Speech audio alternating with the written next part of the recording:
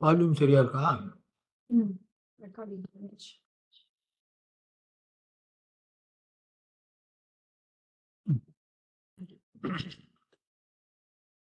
எல்லாருக்கும் வணக்கம். இன்னைக்கு நாம சிறுத்தொண்டரை பற்றி பார்க்க போகிறோம். பட்டினத்தார் பாடிய அந்த வெண்பாவில் மூணு அடியார்களை பற்றி சொல்றாரு. அதுல ஒருவரை தான் போன வாரம் பார்த்தோம். நாளாரில் கண்ணிடந்து அப்பவல்லே நல்லேன் என்பது கண்ணப்ப நாயனார் அதை போன வாரம் பார்த்தோம். இன்றைக்கு அதிலேயே இருக்கிற இன்னொருவர் வாழால் மகவறிந்து ஊட்டவல்லே நல்லேன் என்று பட்டினத்தார் குறிப்பிடுவது திருத்தொண்டரை பற்றி. அந்த திருத்தொண்டருடைய வரலாற்றை பெரிய புராணம் எப்படி சொல்லுகிறதோ அப்படி நான் இன்றைக்கு சொல்ல போகிறேன். இந்த திருத்தொண்டர் வந்து பிறந்தது திருச்செங்காட்டங்குடி என்கிற ஊர். தஞ்சாவூர் மாவட்டத்தில் இருக்கிற ஒரு ஊர் அது. அங்கே அவர் பிறக்கிறார்.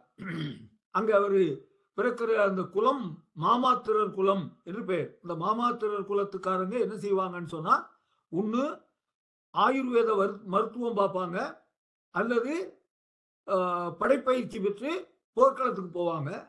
அதெல்லாம் அந்த குலத்துக்குரிய தொழில். அந்த குலத்தில் இவர் பிறக்கிறாரு. இவர் பிறக்கிற பொழுது இவருக்கு அவங்க வீட்டில் வைக்கிற பெயர் வந்து பரஞ்சோதி என்பது இவருக்கு பெயர். இந்த பரஞ்சோதியை பற்றி கல்கி ரெண்டு நாவல்ல இவரை பாத்திரமா படைத்திருப்பார். கல்கியினுடைய சிவகாமியின் சபதம் நாவல்ல பரஞ்சோதியாகவே அந்த பாத்திரம் வரும். முத முதல்ல பரஞ்சோதி எப்படி வருவார் என்பது என்று. அடுத்து அவர் எழுதிய பார்த்திபன் கனவு என்கிற நாவல்ல சிறுத்தொண்டராகவே வருவார். சிறுத்தொண்டரையே ஒரு பாத்திரமா வச்சிருப்பார். பரஞ்சோதி தான் சிறுத்தொண்டர் சிறுத்தொண்டர் தான் பரஞ்சோதி. இந்த பரஞ்சோதி என்கிற பெயரோடு இவர் பிறந்து வளர்கிற பொழுது அவருடைய குலத்தொழிலாகிய ஆயுர்வேதத்தையும் கொஞ்சம் கத்துக்கிட்டாரு. படைப்பயிற்சியையும் கத்துக்கிட்டாரு.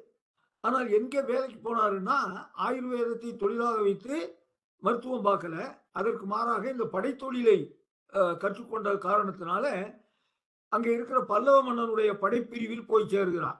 அப்பொழுது ப- பல்லவ நாட்டை ஆண்டு கொண்டிருந்த மன்னன் நரசிம்மவர்ம பல்லவன். பர- பல்லவ சாம்ராஜ்யத்தை முதல் முதல்ல ஸ்தாபித்தவன் வந்து மகேந்திரவர்ம பல்லவன் அவனுடைய மகன் நரசிம்மவர்ம பல்லவன். இவன் தான் மகாபலிபுரத்தில் இருக்கிற அந்த சிற்பங்களை எல்லாம் உருவாக்கியவன். அங்கே இருக்கிற அந்த கோயில்களை எல்லாம் கட்டியவன். அதனால அந்த நரசிம்மவர்ம பல்லவனுடைய காலத்தில் அவனுடைய படைப்பிரிவில் சேர்கிறார். இவருடைய ஆற்றலையும் இவருடைய படை பயிற்சியையும் சிறப்பையும் பார்த்து இவரை தங்களுடைய படையின் தலைவனாக ஆக்குகிறார் அந்த பல்லவ மன்னன். சேனாதிபதி பயாருன்னா பரஞ்சோ பரஞ்சோதி தான் சேனாதிபதி என்று. அப்படி இருக்கிற அந்த சேனாதிபதியின் தலைமையில் படையெடுத்து வடக்கே இருக்கிற வாதாபி என்கிற நகரத்தின் மீது படையெடுத்து போறாங்க. அந்த வாதாபியை சாளுக்கிய மன்னன் ஆண்டு கொண்டிருக்கிறான். இந்த சாளுக்கிய மன்னனுக்கு புலிகேசின்னு பேரு. இந்த புலிகேசி மகேந்திரவர்மன் பல்லவன் காலத்திலேயே பல்லவ நாட்டின் மீது படையெடுத்து ஓரளவுக்கு வெற்றியும் கண்டு திரும்பியவன். மகேந்திரவர்ம பல்லவனுக்கு அவருடைய வரலாற்றிலேயே அது பெரிய வருத்தம் என்னன்னா இந்த புலிகேசி தன்னை வென்றான் என்பதுதான். அவன் வென்றது மட்டும் இல்லாம அந்த பல்லவ நாட்டில் தான் வென்றோம் என்பதற்குரிய வெற்றி தூணை எல்லாம் நட்டு விட்டு போயிட்டான். அதுக்கு எப்படியாவது பழி வாங்கணும்னு மகனை தயார் பண்றாரு அவரு. அது அதை அதுக்கே தயாராக நரசிம்மவர்ம பல்லவன் தன்னுடைய படைப்பயிற்சியையும் வளர்த்து கொள்கிறான். அரசியல் தந்திரங்களையும் கற்றுக்கொள்கிறான் அதையெல்லாம் கற்றுக்கொண்டு ஒரு பெரிய படையெடுப்பை சாளுக்கிய நாட்டின் மீது எடுக்கிறான். அப்படி எடுக்கிற பொழுது படைத்தலைவராக வாதா நம்முடைய பரஞ்சோதி போகிறான் அந்த வாதாபி நகரத்திலிருந்து தான் கணபதி சிலையை அவர் கொண்டு வருகிறார். அதுக்கு முன்னாலேயே தமிழ்நாட்டில் க கணபதி சிலை இருந்திருக்குது. நம்ம பிள்ளையார் ரொட்டியெல்லாம் அந்த அதுக்கு முன்னால நரசிம்மவர்ம பல்லவன் கிபி ஐந்தாம் நூற்றாண்டு அல்லது ஆறாம் நூற்றாண்டு. ஆனால் அதுக்கு முன்னாலேயே நமக்கு இங்கே பிள்ளையார் சிலை இருந்திருக்கு. ஆனால் பெரிய அளவில் இல்லை. பெரிய அளவில் தமிழ்நாடு முழுவதும் பரவியது. இந்த வாதாபியிலிருந்து கொண்டு வந்த சில விநாயகர் சிலையை வச்சு தான் வாதாபி கணபதி என்று ஒரு கீர்த்தனை பாடப்படுவது உங்களுக்கு எல்லாம் தெரிஞ்சிருக்கும். அந்த வாதாபி கணபதியை கொண்டு வந்தவர் பரஞ்சோதி. வாதாபியின் மீது படையெடுத்த பொழுது அங்கே இருந்து பல பொருட்களை கொண்டு வந்தார். அதில் முக்கியமாக கணபதி சிலையை கொண்டு வந்தார். அதை தங்களுடைய திருச்சாங்க திருச்செங்காட்டங்குடியிலேயே இருக்கிற சிவபெருமானுடைய ஆலயத்தில் அதை ஸ்தாபித்தார். அந்த வாதாபி கணபதி. அதனால அந்த ஊர்ல அந்த சிவன் கோயிலுக்கு பேரே கணபதீச்சரம் என்பது பேர். கணபதியை முக்கியமான கோ விக்கிரகமாக மூலவர் போல கருதி வைத்திருக்கிற ஒரு அங்க சிவபெருமான் தான் மூலவர். ஆனா கணபதி எங்க? முக்கியத்துவம் பெற்று ஒரு பரிவார தெய்வமா இருக்கிறாரு. அதனால அதுக்கு கணபதீச்சுரம்னு பேர். இந்த கணபதீச்சுரத்தை உருவாக்குகிற கதையெல்லாம் இனிமே தான் வருது. இவர் இப்ப பரஞ்சோதியா போறாரு. கணபதி சிலையை கொண்டு வருகிறார். அதோட பல ச- தங்கம் வெள்ளி மணி எல்லாம் அங்கிருந்து அந்த வாதாபியினுடைய கருவூலத்திலிருந்து எடுத்து கொண்டு வருகிறார். கொண்டு வந்து நரசிம்ம பல்லவனிடத்தில் அதை ஒப்படைக்கிறார். அந்த வெற்றி விழாவில் எல்லாரையும் பாராட்டுகிற பொழுது நரசிம்மவர்மன் சொல்லுகிறார் மிகப்பெரிய ஆற்றலோடு இதையெல்லாம் சாதித்தவன் பரஞ்சோதி. ஆகவே அவர் நம்முடைய பாராட்டுக்குரியவர். அவருக்கு எங்கே போனாலும் வெற்றி கிடைக்கிறது. அது எனக்கே ஆச்சரியமாக இருக்கிறது. என்று நரசிம்மவர்ம பல்லவன் சொல்றான். அப்ப அங்க இருக்கிற மந்திரிகளில் மூத்த மந்திரி சொல்றாரு அது வேற ஒன்றும் காரணம் இல்லை மன்னரே. அவர் வந்து சிவபெருமானுடைய பக்தர் மதி அணிந்த சடையானின் பக்தர் அவரு. அப்படி இருக்கிறதுனால அந்த சிவனுடைய அருள் அவருக்கு நிறைய இருக்கிறது. அப்படி இருக்கிறதுனால அவர் எந்த போர்க்களத்துக்கு போனாலும் சிவனுடைய துணையோடு தான் அவர் வெற்றியை ஈட்டி வருகிறார் என்று சொல்கிறார் இதை கேட்டோன்னா நரசிம்ம பல்லவருக்கு கொஞ்சம் மனசுல வருத்தம் வருகிறது. ஒரு சிவனடியாரை சிவனுடைய பக்தரை நாம் வந்து போரில் ஈடுபடுத்தி பல பேரை கொலை செய்வதற்கு கொலை செய்கின்ற பாவத்தை செய்கிறவனாக ஆக்கிவிட்டோமே. அது நம்முடைய தவறல்லவா? இந்த பரஞ்சோதி ஒரு சிவபக்தன் என்று தெரியாமல் அல்லவா நான் அவனை இந்த பணியிலே ஈடுபடுத்தி விட்டேன் என்று சொல்லி பரஞ்சோதியை பார்த்து என்னை மன்னித்துக் கொள்ளுங்கள். உங்களை வந்து பாவச் செயலை செய்கிற மாதிரி படை தலைவனாக ஆக்கியதற்கு என்று சொல்கிறார். அப்ப பரஞ்சோதி பதில் சொல்றாரு இல்லை இல்லை எங்கள் குலமே மாமாத்திர குலம் என்பதே படைப்பயிற்சி பெற்று நாட்டுக்கு உழைக்கின்ற ஒரு குலம் தான் அதனால நான் என்னுடைய குலத்தொழிலை செய்தேனே தவிர இதுல ஒன்றும் தப்பு இல்லை. நீங்க செஞ்சது ஒன்றும் பிழை இல்லை என்று சொல்கிறான் இருந்தாலும் ம- பல்லவ மன்னனுக்கு மன அமைதி இல்லை. அதனால என்ன பண்ணுகிறாரு? மிகப்பெரிய பொருளை அந்த பரஞ்சோதிக்கு கொடுத்து நீங்கள் இனி உங்க ஊர்லயே போய் இருந்து செம்மையான சிவநெறி தொண்டை செய்யுங்கள். என்று சொல்லி அவரை அனுப்பிவிடுகிறார் செம்மையான சிவநெறி தொண்டை செய்யுங்கள் என்று சொல்லி அவரை செங்காட்டங்குடிக்கே அனுப்பிவிடுகிறார் காஞ்சிபுரம் பல்லவருடைய தலைநகரம். இவர் படைத்தலைவனாக இருந்ததுனால காஞ்சிபுரத்துல இருந்து அறிவுள்ளவ நாளா இப்ப அவரை தெ- செங்காட்டங்குடிக்கு அனுப்புறாரு நரசிம்மவர்ம பல்லவர். நீ அங்க போய் இந்த செம்மை நெறி சிவத்தொண்டு செய்வாயாக என்று. சரின்ட்டு இவரும் உடனே தன்னுடைய ஊருக்கு வருகிறார். அப்படி ஊருக்கு வந்த உடனே ஒரு நல்ல இளைஞர். இதுவரைக்கும் படைப்பிரிவில் போய் இருந்ததுனால ஊரில் இவரை பற்றி நல்ல புகழ் பரவி இருந்திருக்கு. எனவே இவர் அங்கே வந்தவுடன் இவருக்கு திருமண பேச்சு நடைபெறுகிறது. ஒரு நல்ல மணமகள் இவருடைய மனைவியாக அமைகிறாள். அவருடைய பெயர் திருவெண்காட்டு நங்கை என்பது. திருச்செங்காட்டுக்கு பக்கத்தில் இருக்கிற பல சிவத்தலங்களில் ஒன்று திருவெண்காடு. அந்த திருவெண்காடு இன்றைக்கும் மிகச்சிறந்த மிகச் சிறந்த தலமாக விளங்குகிறது. அங்கே மூன்று குளங்கள் உள்ளன. அந்த மூன்று குளத்திலும் நீராடினால் பல்வேறு நன்மைகள் கிடைக்கும் என்பது தேவாரத்தில் சொல்லப்பட்டிருக்கிற செய்தி. தேவாரத்தில் திருவெண்காட்டை பற்றி நிறைய பதிகங்கள் இருக்கின்றன. திருச்செங்கோட்டை பற்றியும் அந்த திருச்செங்காட்டங்குடியை பற்றியும் பதிகம் இருக்கிறது. அதனால ரெண்டுமே முக்கியமான சிவத்தலம். அந்த சிவத்தலத்திலிருந்து திருவெண்காட்டில் பிறந்த பெண் திருச்செங்காட்டங்குடியில் இருக்கிற இந்த பரஞ்சோதிக்கு மனைவியாக வருகிறாள். அவள் பெயரையே திருவெண் திருவெண்காட்டு நங்கை என்றுதான் பெரிய புராணம் குறிப்பிடுகிறது. அவளுக்கு வேற பெயரு அவங்க அப்பா அம்மா வச்சா மாதிரி தெரியலை. அல்லது வச்சிருந்தாலும் அது வந்து பின்னால் அழைக்கப்படவில்லை. பிரபல்யம் பெறவில்லை. பல பேருக்கு அவங்க இட்ட பெயரை விட பின்னால் வர்ற பெயர் தான் நிலைக்கும் இப்போ பரஞ்சோதிக்கே அப்படித்தான். அவருக்கு அவங்க அப்பா அம்மா இட்ட பெயர் பரஞ்சோதி. ஆனால் நிலைத்திருக்கிற பெயர் எதுன்னா சிறு தொண்டர் என்பது. இவர் அந்த திருவெண்காட்டு நங்கையை மணந்து தன்னுடைய ஊராகிய திருச்செங்காட்டங்குடியில் இல்லறம் நடத்துகிற பொழுது இவர் ஒரு விரதம் எடுத்துக்கிறார். என்ன விரதம் என்று சொன்னால் நாள்தோறும் ஒரு சிவனடியாருக்காவது உணவளித்து அதற்கு பிறகுதான் நான் சாப்பிடுவேன் அப்படின்னு. முன் ஊட்டி பின் உண்ணும் விரதத்தை அவர் எடுத்துக் கொள்கிறார். யாருக்கு ஊட்டுவது? சிவனடியார்களுக்கு. ஒரு சிவனடியாருக்காவது நான் முன்னாலே உணவு ஊட்டி அதற்கு பிறகுதான் நான் உணவு உண்பேன் என்று ஒரு விரதத்தை எடுத்துக் கொள்கிறார். அறுபத்தி மூன்று நாயன்மார்களை பற்றி சொல்லுகிற பெரிய புராணம் என்ன குறிப்பிடுகிறது என்று சொன்னால் இந்த ஒவ்வொரு நாயன்மாரும் ஏதோ ஒன்றை தங்கள் வாழ்க்கையின் குறிக்கோளாக எடுத்துக்கொண்டார்கள் அது அவர் கடைசி பாட்டில் சொல்லுவார் ஒன்று காதலித்து உறுதியோடு வாழ்ந்தவர்கள் என்று. ஏதோ ஒன்றே ஒன்றை ஒவ்வொருவருக்கும் ஒன்று மட்டும் அந்த ஒன்றை அவர்கள் மிகச் சிறப்பாக எடுத்துக்கொண்டு அதையே தங்கள் வாழ்க்கை முழுவதும் தங்களுடைய குறிக்கோளாக வைத்துக்கொண்டு வாழ்கிற வாழ்க்கையை அவர்கள் வாழ்ந்தார்கள். அப்படி இவர் எடுத்துக்கொண்ட ஒன்று என்னன்னு சொன்னா ஒவ்வொரு நாளும் ஒரு சிவனடியாரையாவது உணவு உண்ணச் செய்து அவருக்கு தன்னுடைய வீட்டில் இருக்கிற உணவை வழங்கி விருந்து வழங்குவது போல வழங்கி அதற்கு பிறகுதான் தான் உண்பது என்பது. ஒரு சிவனடியாருக்கு வழங்குவதுன்னா யாரோ இந்த பிச்சைக்கு வர்றவங்களுக்கு திருவோட்டில் போடுற மாதிரி இல்லை. அவரை வீட்டுக்குள்ளேயே வரவழைத்து அவருக்கு பாத பூஜை பண்ணி அதுக்கப்புறம் தன் மனைவியையே அவருக்கு பரிமாற சொல்லி இவர் பக்கத்திலே இருந்து அவரை உண- உணவு உண்ண செய்வார். அப்படி செய்த பிறகுதான் இவர் சாப்பிடுவார். இது இவருடைய பழக்கம். அந்த பழக்கத்தினாலே இவருடைய பெயர் அங்கே பரவுகிறது. அங்கே எல்லாரும் இவரை நீங்கள் பெரிய த- திருத்தொண்டர் என்று பாராட்டுகிற பொழுது இவர் தன்னடக்கத்தோடு சொல்லிக் கொடுக்கிறார் நான் ஒன்றும் பெரிய திருத்தொண்டர்லாம் கிடையாது. நான் சிறு தொண்டன். நீங்கள்லாம் தான் பெரிய தொண்டர்கள். நான் சிறிய தொண்டன் சிறு தொண்டர் என்று தன்னைத்தானே அடக்கமாக சொல்லிக் கொடுக்கிறார் அதுவே அவருடைய பெயராக நிலைத்து விடுகிறது. சிறு தொண்டர் தான் என்ற பெயர் அவருக்கு நிலைத்து விடுகிறது.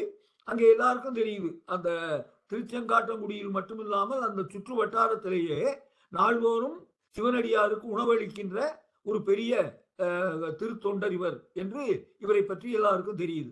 அப்படி இவர் சிறு தொண்டராக அங்கே எல்லோருக்கும் உணவு நாள்தோறும் ஒரு சிவனடியாருக்கு உணவளித்து இவரும் சாப்பிட்டுக்கிட்டு இருக்கிறாரு. அதற்கு திருவெண்காட்டு நங்கை மிக துணையாக இருக்கிறார் கொஞ்சம் கூட நாள்தோறும் யாருக்கோ நான் வ- வடிச்சு போட வேண்டியது இருக்கேன்னு கோபித்துக் கொள்ளாமல் அதை ஒரு சுமையாக கருதாமல் அவளும் அதை ஒரு பெரிய தொண்டாக கருதி அதை நிச்சயமாக செய்ய வேண்டும். அதுதான் நமக்கு புண்ணியத்தை தரும்னு சொல்லி அவளும் அதை செய்கிறாள். அப்படி ரெண்டு பேரும் நல்ல முறையிலே இல்லறம் நடத்துகிறார்கள். அதை சொல்லுகிறார் சேர்க்கிறார் அந்த இல்லறம் என்கிற அந்த மனையறத்தின் வேறாகி விளங்குபவர்ங்கிறார்.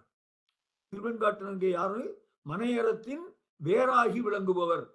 ஆக அந்த மனையறம் பூ பூ விட்டு காய் விட்டு மரமாக ஆகிறதுன்னு சொன்னால் அதன் அந்த மரத்துக்கு உரியவர்னு சிறுத்தொண்டருக்கு போல் வருது. ஆனா அதுக்கு அடிப்படை காரணம் யாருன்னா அங்கே வேறாக இருக்கிறவள் இந்த திருவெண்காட்டு அங்கே எப்பவும் வேர் வெளியில் தெரியாது மரத்துல. அதுல வர்ற காயோ பழமோ தான் தெரியும். அதைத்தான் நம்ம பாராட்டுவோம். ஆனா இந்த பழத்துக்கு எது காரணம்னா அந்த வேர் தான் காரணம். அதுபோல இங்கே திருவெண்காட்டு அங்கே இல்லை என்றால் இவர் இந்த திருத்தொண்டை செய்திருக்க முடியாது. அதை செய்வதற்கு அவள் தான் வேறா இருந்தாள் என்று சேக்கலார் குறிப்பிடுகிறார். மனையறத்தின் வேறாகி நின்ற விளங்கிய திருவெண்காட்டு நங்கை என்று. அவர் ரெண்டு பேருமாக சேர்ந்து அப்படி ஒரு பெரிய சிவத்தொண்டை செய்து கொண்டு வாழ்ந்து கொண்டிருக்கிற பொழுது அவளுக்கு ஒரு ஆண் குழந்தை பிறக்கிறது. அதை சொல்லுகிற பொழுது ப- மனையறத்தின் வேறாக விளங்கும் திருவெண்காட்டு நங்கை வயிற்றில் சீராள தேவர் பிறந்தார் என்று எழுதுகிறார் கேட்கலாம் அவருக்கு சீராளன்னு பேர் வைக்கிறாங்க பிறந்த குழந்தைக்கு. சீராளன் பிறந்தான்னு சொல்லலை. சீராட தேவர் பிறந்தாருங்கிறார். ஏன் அப்படி சொன்னாருங்கிறத நம்ம கதையில பின்னால பார்க்கலாம்.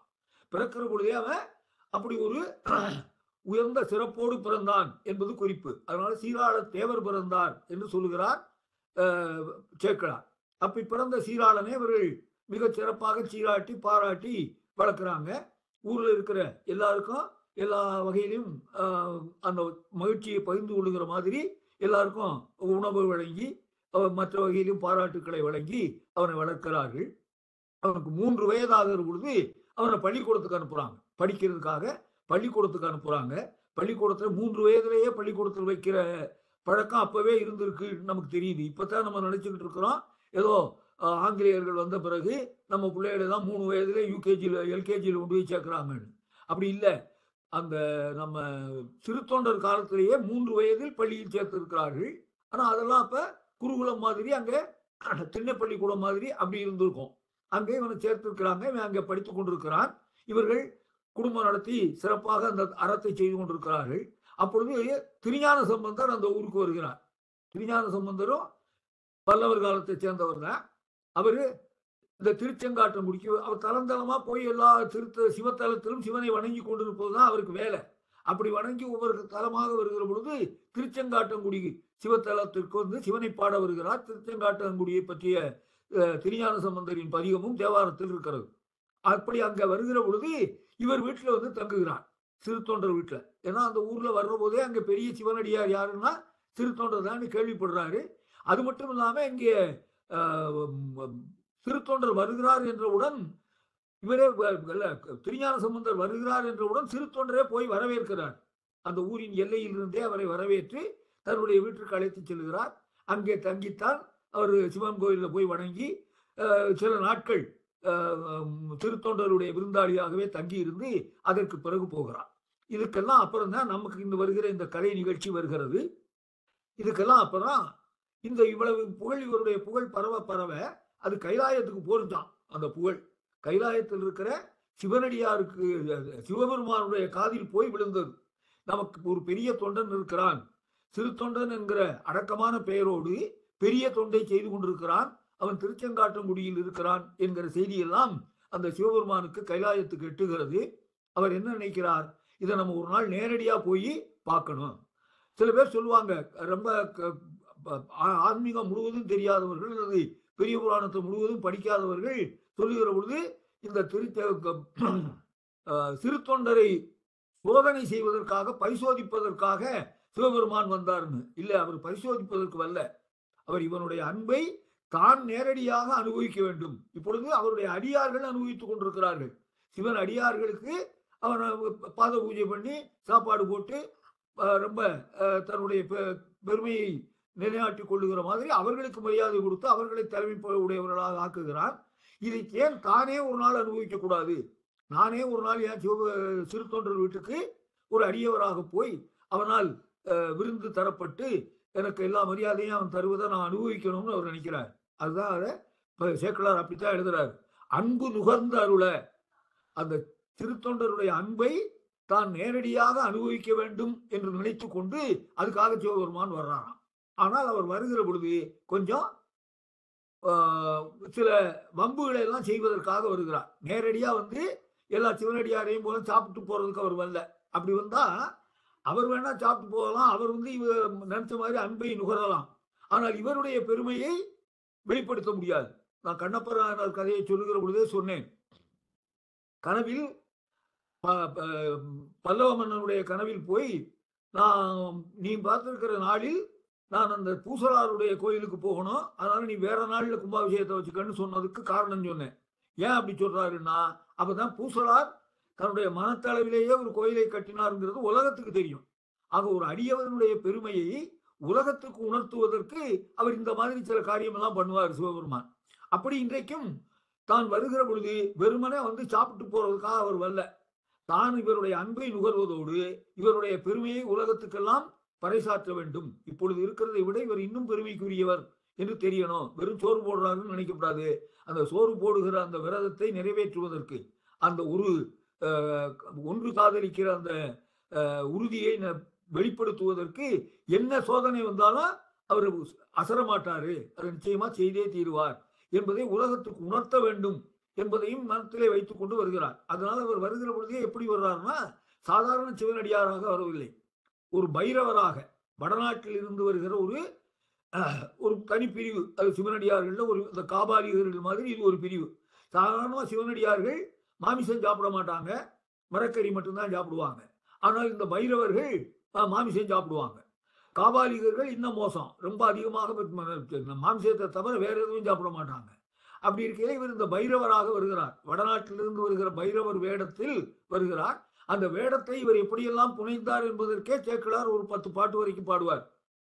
இரண்டே இரண்டு புராணங்கள்ல தான் அப்படி பாடுகிறார். ஒன்று இந்த திருத்தொண்டருடைய புராணம் இன்னொன்று இயற்பகை நாயனாருடைய புராணம். அங்கேயும் அவர் எப்படி வேடமிட்டு கொண்டு புறப்பட்டு வந்தார் என்பதை விரிவாக ஒரு ஆறு ஏழு பாட்டில் சொல்லுவார். இங்கேயும் ஆறு ஏழு ஏன்னா ரெண்டு ரெண்டு கதையிலையுமே அந்த வருகின்ற இங்கே இருக்கிற சிவனடியாரினுடைய பெருமையை உலகத்துக்கு காட்டுவதற்காக அவர்களிடத்தில் இவர் சில வம்புகளை எல்லாம் செய்வதற்காக வருகிறார். அதனால அதுக்கு தகுந்த வேஷம் போட்டுக்கிட்டு வர்றாரு. சிவனடியார் போல பெருமனை வராம அங்க பைரவர் வேடத்தில் வருகிறார். அதனால இவர் இன்னைக்கு வரப்போறோங்கிறதுனால என்ன பண்ணிட்டாரு? வழக்கமா அந்த உணவு நேரத்துக்கு ஒருவரோ அல்லது பலரோ சிவனடியார்கள் திருத்தொண்டர் வீடு தேடி அவர் அவங்களே வந்துருவாங்க. இன்னைக்கு நமக்கு சாப்பாடு இங்கே கிடைக்கும்னு. அவர்கள் அவர்களை உள்ளே வரவழைத்து அவர்களுக்கு சிவ பூஜை செய்து அவர்களுக்கு பாத பூஜை செய்து அவர்களுக்கு உணவளித்து எல்லாம் செய்து முடிப்பார் திருத்தொண்டர். ஆனால் இவர் வர்ற அன்னைக்கு என்ன பண்ணார்? சிவபெருமான் அவரே அதுக்கு ஒரு ஏற்பாடு பண்ணிட்டார். தன்னுடைய திருவிளையாடல்களில் ஒரு விளையாடலாக அன்றைக்கு எந்த சிவனடியாரும் திருத்தொண்டர் வீட்டுக்கு வரல. உடனே என்ன ஆச்சு நேரம் ஆச்சு பதினொன்னாச்சு பன்னெண்டாச்சு சாப்பிட வேண்டிய நேரம் வந்துருச்சு.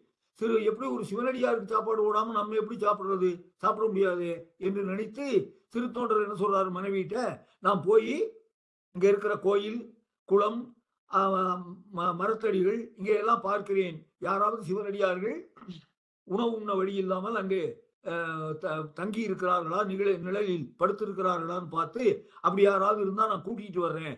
வந்த பிறகு அவருக்கு உணவளித்து அப்புறம் நான் சாப்பிடுறேன் அப்படின்னு மனைவியிடம் சொல்லிவிட்டு இவர் சிவனடியார்கள் கிடைக்கிறாங்களான்னு தேடி போயிருக்கிறார். அப்படி போயிருக்கிற பொழுது இந்த பைரவர் இங்க வர்றார். அவர் என்னமோ ஒன்றும் தெரியாத ஒரு மாதிரி சிவ திருச்செங்காட்டங்குடிக்குள் நுழைந்த உடனேயே ஒவ்வொரு ப- யார் எதிரே வந்தாலும் அவங்ககிட்ட ஏன் இங்கே திருத்தொண்டர்னு ஒருத்தர் வந்து சிவனடியாருக்கெல்லாம் சோறு போடுறாராம்ல? அவர் வீடு எங்கே இருக்கு? எனக்கு ரொம்ப பசிக்குது நான் போகணும் அப்படின்னு எல்லார்ட்டையும் சொல்லிக்கொண்டே வருகிறார்.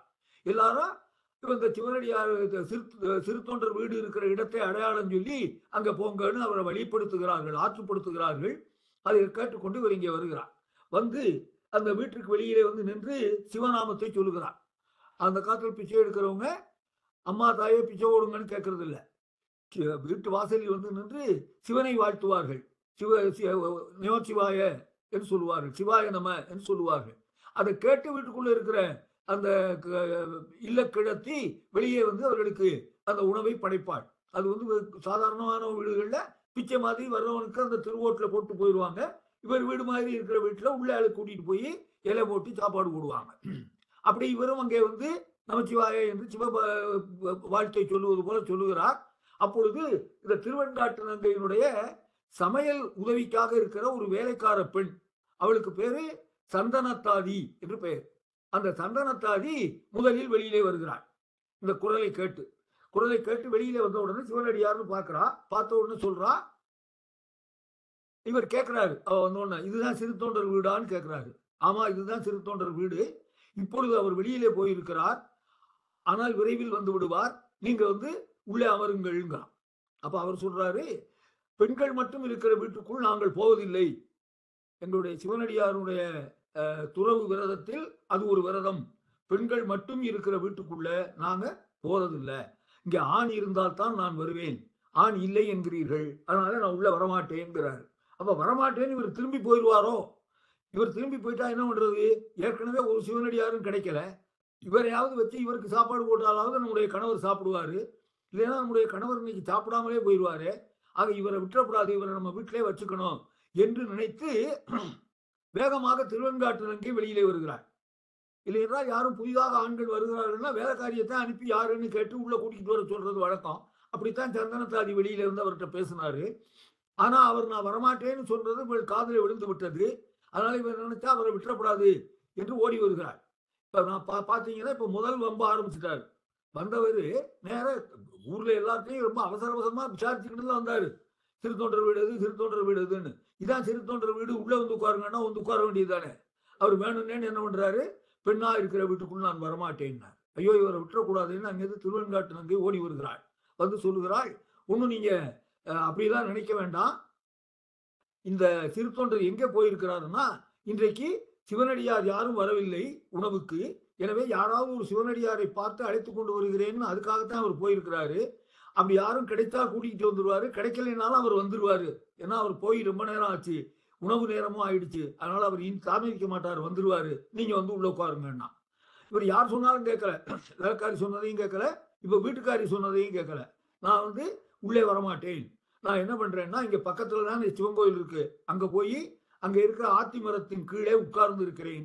உன்னுடைய கணவர் வந்தால் அவருக்கு நீ சொல்லு. ஒரு சிவனடியார் வந்தாரு. அவர் நம்ம சிவன் போய் ஆத்தி மரத்துக்கு கீழே உட்கார்ந்துருக்காரு நீ சொல்லு. அவர் வந்து என்னை பார்க்கட்டும் அப்படின்னு சொல்லிட்டு இவர் போயிட்டார். அதுக்கு கொஞ்சம் நேரம் கழிச்சு பரஞ்சோதி வருகிறார் வீட்டுக்கு. சிறு தொண்டர் வீட்டுக்கு வருகிறார். வந்து மனைவி இடத்துல சொல்லுகிறார் ஐயோ இன்னும் நான் எல்லா இடத்துலையும் தேடி பார்த்துட்டேன். ஒரு இடத்துலையும் சிவனடியார் யாருமே கிடைக்கலையேங்கிறாரு. அப்ப அவ சொல்றா கவலைப்பட வேண்டாம். ஒரு சிவனடியார் நம்ம வீட்டுக்கே வந்தாரு. ஆகா வந்தாரா? எங்கேங்கிறாரு இவரு? இங்க உள்ள வரமாட்டேன்ட்டாரு. இப்போ போய் ஆத்தி மரத்தின் கீழில் நிழல் கீழில் உட்கார்ந்து போய் உட்கார்ந்து இருக்கிறாரு நீங்க கோயிலுக்கு போய் அவரை பார்த்து கூட்டிகிட்டு வாங்கன்னா இவர் உடனே சிவன் கோவிலுக்கு ஓடுகிறார். அங்கே போனால் ஆத்திமர நிழலில் இந்த பைரவர் உட்கார்ந்து இருக்கிறார் அவரை போய் பார்த்து நீங்கள் தான் எங்கள் என்னுடைய வீட்டுக்கு வந்தவரா? அப்படின்னு இவர் கேட்குறாரு உடனே அவர் தெரிஞ்சுக்கிட்டார் இவர் தான் சிறு தொண்டர்னு. அவர் கேட்குறாரு இவரை பார்த்து உடனே நீரோ பெரிய சிறு தொண்டர்? அப்படின்னு கேட்டார். இது ரெண்டாவது வம்பு. முதல் வம்பு வீட்டுக்குள்ளே வரமாட்டேன்னுது. இப்போ இவரை பார்த்தோன்னே ஒரு ஒரு ஏளனமா கேட்குற மாதிரி. நீங்க தான் பெரிய சிறுத்தொன்றோ உங்களை பத்தி எல்லாரும் பேசிக்கிறாங்களே. நீங்க தானே அது? அவ்வளவு பெருமைக்குரியவரா? அப்படிங்கிற மாதிரி கேட்கிறாரு நீரோ பெரிய சிறுத்தொண்டர் ஆனா இவர் சொன்னார் ரொம்ப அடக்கத்தோட. அப்படிலாம் நான் ஒன்றும் பெரிய ஆள் இல்லைங்க. நான் வந்து எல்லாருக்கும் உணவு தான் கொடுக்குறேன். நான் செய்யறது ரொம்ப சின்ன தொண்டு. ஒரு பெரிய தொண்டு இல்லை. ஒரு கோயில் கட்டுறதுனா ஒரு பெரிய தொண்டு. அல்லது ஏற்கனவே இருக்கிற கோயிலை புனருத்தாரணம் பண்ணுவது என்றால் ஒரு பெரிய தொண்டு. அது மாதிரி தான் நான் செய்யலை. அல்லது ஒரே நாளில் நூறு பேர் இருநூறு பேருக்கு அன்னதானம் செய்தால் அது பெரிய தொண்டு. நான் ஒரு நாளைக்கு ஒரு சிவனடியாருக்கு சோறு போடுறேன். அது சாதாரண திருத்தொண்டு தான் சிறு தொண்டு என்று அதனால தான் நான் அதை என்னை சிறுத்தொண்டர் என்று வைத்துக் கொண்டேன். நான் சிறுத்தொண்டர் தான் பெரிய ஆளெல்லாம் இல்லை அப்படின்னாரு. சரி என்ன விஷயம்? வந்தவர். அவர் தான் எனக்கு பசிக்குது. இவர் வீடு எங்கே இருக்குன்னு கேட்டு வந்தவர். இப்போ அவர் இவரை கேட்குறாரு என்ன விஷயம்? எதுக்கு நீ வந்து என்ன- என்னை பார்க்க வந்தேன்னு திருத்தொண்டர் சொன்னார் இல்லை நீங்கள் எங்கள் வீட்டுக்கு வர எழுந்தருள வேண்டும். எங்கள் வீட்டில் வந்து நீங்கள் விருந்து உண்ண வேண்டும். என்னுடைய விருந்தாளியாக நீங்கள் இன்றைக்கு தங்க வேண்டும் வாங்கன்னு கூப்பிட்டார். இவர் சொன்னாரு அது சரிப்பா நீ வந்தா பார்த்தா சரி அது போதும். இதெல்லாம் வேண்டாம். நீ என்ன வீட்டுக்கு கூப்பிடவும் வேண்டாம். நான் அங்க வரவும் இல்லை. அப்படின்னாரு. ஏன்? அப்படின்னு இவர் கேட்கிறாரு ஏன்னா எனக்கு வேணுங்கிற விருந்து உன்னால படைக்க முடியாது. நான் எப்பொழுதும் உணவு உண்டுகிற விருந்து இருக்கிறதே அது கொஞ்சம் சிக்கலான ஒன்று. அது உன்னால படைக்க முடியாது. நான் வந்து ஆறு மாத்தைக்கு ஒரு தடவை தான் சாப்பிடுவேன். அவர் எப்படி சொல்றாரு? அந்த பைரவர் சொல்றாரு நான் ஆறு மாத்தைக்கு ஒரு தடவை தான் சாப்பிடுவேன். ஆனா எப்படி சாப்பிடுவேங்கிறது ஒரு சில நியமங்கள் இருக்கிறது. அந்த நியமங்களை எல்லாம் உன்னால நிறைவேற்ற முடியாது. உன்னால் என்னை உபசரிக்க முடியாது. எனக்கு விருந்து தர உன்னால் முடியாது. அது உனக்கு செயற்கரிய செயல் என்று சொன்னான். இது இப்ப மூணாவது வம்பு. முதல் வம்பு வீட்டுக்குள்ள வர மாட்டேன்னாரு ரெண்டாவது வம்பு அங்க நீரோ பெரிய சிறு தொண்டர் என்று அவரை கேள்வி பண்ற மாதிரி கேட்டாரு. மூணாவது நான் உங்கள் வீட்டுக்கு வரமாட்டேன். ஏன்னா எனக்கு நீ சோறு போட முடியாது. இதை ஏன் நான் வம்பு வம்புன்னு சொல்கிறேன்னா சேக்கிழார் வேணும்னே அந்த வார்த்தையை பயன்படுத்துகிறார். அந்த திருத்துவ பைரவர் வந்து த- திருவெண்காட்டுநங்கை வீட்டுக்கு நின்ன உடனே திருவெண்காட்டுநங்கை வந்து அவர்கிட்ட பேசுகிறவளும் சொல்லுகிறாள் சிவனடியார் ஒருவரும் இல்லை என்று சிவனடியாரை தேடித்தான் என் கணவர் போயிருக்கிறார். அந்த நேரத்தில் நீங்கள் புதியதாக இங்கே வந்திருக்கிறீர்கள். ஏன்னா இவர் இந்த ஊர்க்காரர் இல்லை இல்லை வடநாட்டிலேருந்து வந்திருக்கிறார். புதியவர் அப்படிங்கிறார். அந்த புதியமைங்கிற சொல்லுக்கு தமிழ்ல வம்புன்னு ஒரு சொல்லு இருக்கு. வம்புங்கிற சொல்லுக்கு ரெண்டு அர்த்தம். ஒரு அர்த்தம் புதுமை இன்னொன்னு நம்ம சொல்ற வம்பு. இவர் சொல்றா வம்பாக நீர் வந்திருக்கிறீர்கள் அப்படிங்கிறான். அவன் சொன்னாரு புதியாக வந்திருக்கிறீர்கள்னு சொல்றான். ஆனா அதுக்குள்ள என்ன இருக்கிறது? நீங்க இன்னைக்கு வந்து இங்க நிறைய வம்பு பண்ண போறீங்க. அப்படி வந்திருக்கிறீங்க. அந்த நோக்கத்தோடு வந்திருக்கிறீர்கள் என்ற குறிப்பை உள்ளே வைத்து இது சேக்கலார் செய்யறது திருவன்காட்டினங்க அந்த வார்த்தை சொன்னாலான்னு தெரியாது. ஆனா அவ அந்த வார்த்தை சொன்னான்னு இவர் எழுதுறாரு. ஏன்னா அப்பத்தான் அதுல அவர் ரெண்டு பொருளையும் கொடுக்க முடியும். இவர் புதிதாக வந்தவர் மட்டுமல்ல வம்பு செய்வதற்காக வந்தவர். ஆனா அந்த வம்பிலெல்லாம் சிறு தொண்டர் தான் வெல்ல போகிறார். அதான் அங்கே சிறப்பு. ஆக இப்படி வம்பு செய்து கூட அவரை வெல்ல அவரை முடியவில்லை அவரை நான் வெல்ல முடியவில்லை. அவர்தான் என்னை வென்றார் என்பதை இந்த உலகத்துக்கு அறிவித்து சிறு தொண்டரின் பெருமையை வெளிப்படுத்துவதுதான் அவருடைய நோக்கம். அதனால வம்பு செய்து வந்திருக்கிறாரு அப்படின்னு திருவன்காட்டு நங்கை சொல்றான் அதனாலதான் நான் அது ஒவ்வொரு நிகழ்ச்சியையும் ஒரு வம்பு என்று சொல்லிக்கொண்டே வருகிறேன். கூட்டுக்குள்ள வரமாட்டேன்றது முதல் வம்பு. நீரோ பெரிய சிறு தொண்டர் என்று அவரை கேலி பண்ணுவது போல கேட்டது ரெண்டாவது இப்ப மூணாவது நான் உங்க வீட்டுக்குள்ள வர முடியாது. ஏன்னு சொன்னா நான் நினைக்கிற மாதிரி ஒரு விருந்தை நீங்கள் எனக்கு பரிமாற முடியாது என்றார். அவர் சொன்னாரு சிவனடியார்கள் சிவ தொண்டர்கள் சிவ பக்தர்கள் நினைச்சா எதைத்தான் செய்ய முடியாது? எதை வேணாலும் செய்யலாம். சிவனுடைய அருள் இருந்தால்.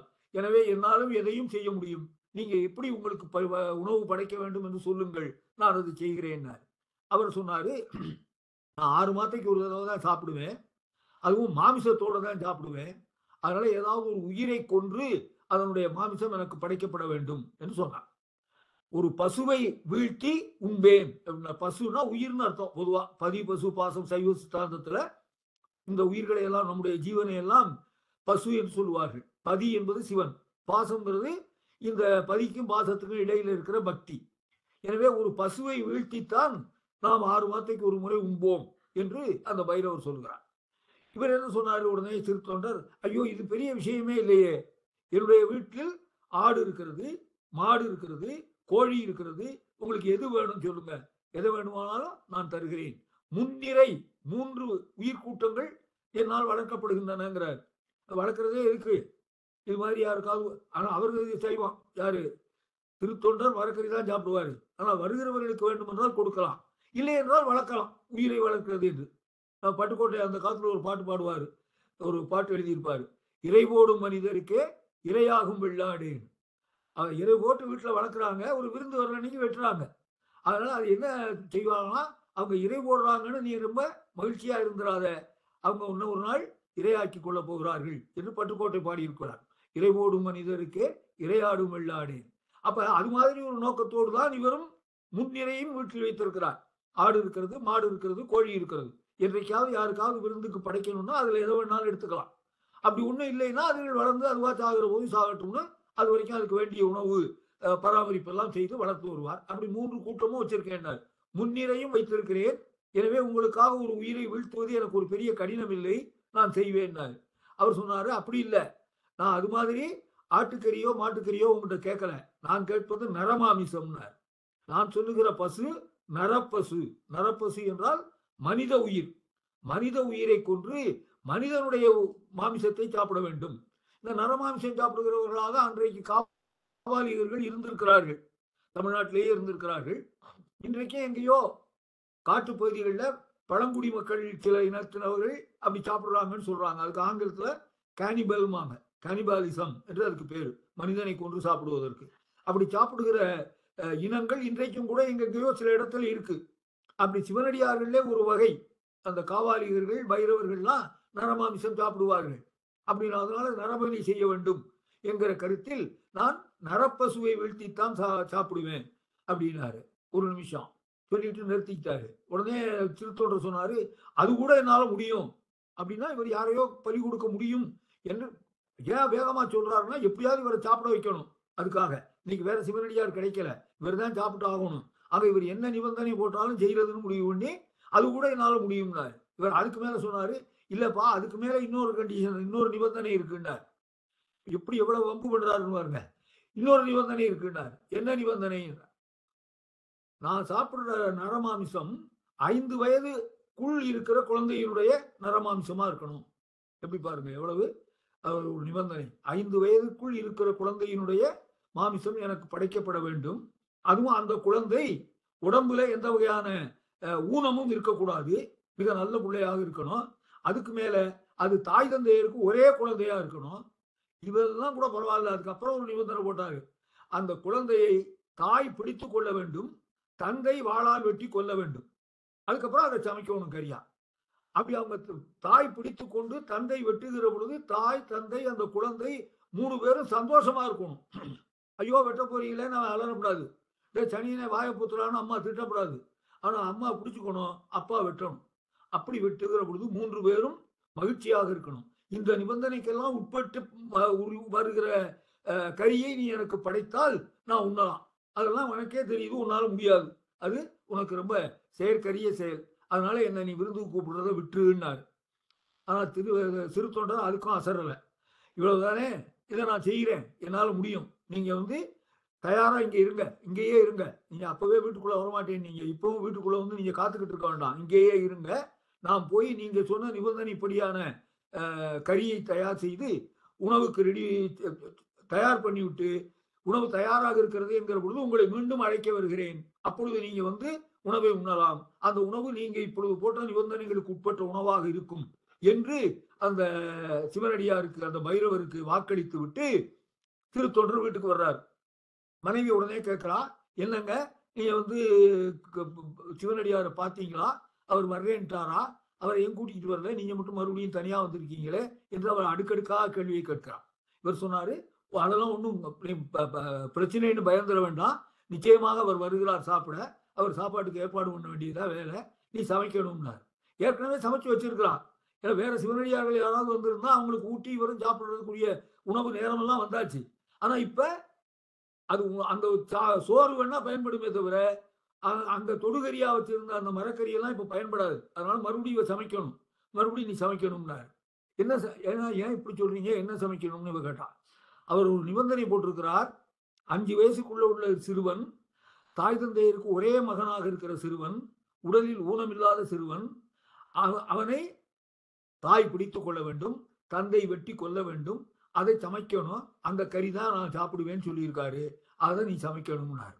இப்ப திருவெண்காட்டு நந்திக்கு கொஞ்சம் அச்சம் ஏற்பட்டது. என்ன செய்கிறதுன்னு அவளுக்கு புரியல. யோசிச்சு பார்க்கறான். இதை எப்படி இந்த மனுஷன் ஒத்துக்கிட்டு வந்தாரு? இப்படி எப்படி நம்மளால முடியும்? என்றெல்லாம் மனத்துக்குள்ளே நினைத்து கொண்டு அவள் கேட்கிறா அப்படி ஒரு பிள்ளைய நம்ம எங்கே போய் பிடிக்கிறதுன்னு கேட்டான்.